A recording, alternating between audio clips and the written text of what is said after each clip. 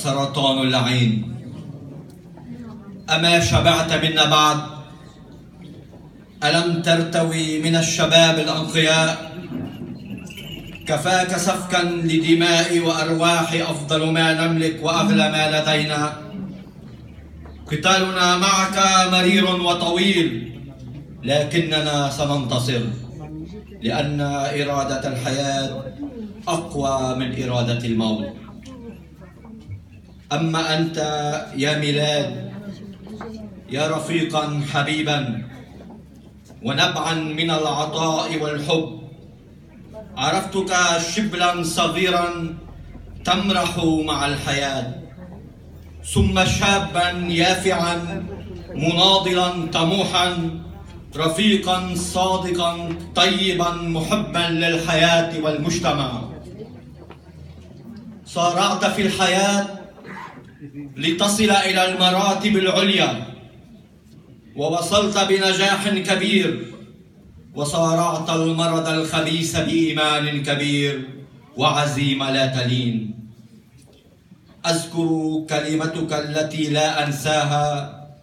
حين قلت لي منذ شهرين تقريبا سأصارع حتى الرمق الأخير. وبصدق أقول لك لقد صرعت الموت إيمانا منك بالقول. ليس المهم أن تصرع التنين إنما المهم أن تصارعه. أتاك الموت باكرا. فرحلت دون وداع.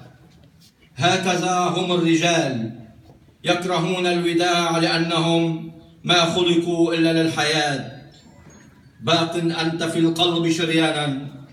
باق في عيون الأحبة والأصدقاء وكالشمس أراك لا تغيب مساء إلا لتعود عند الصبح تشرق من جديد.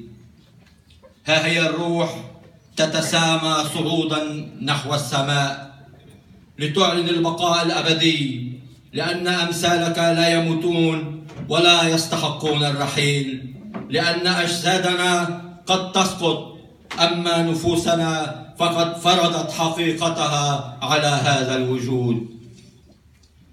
للعائلة كل العزاء للرفيق نبيل الصابر الأب الصامد العامل الذي تفانى في العطاء والعمل.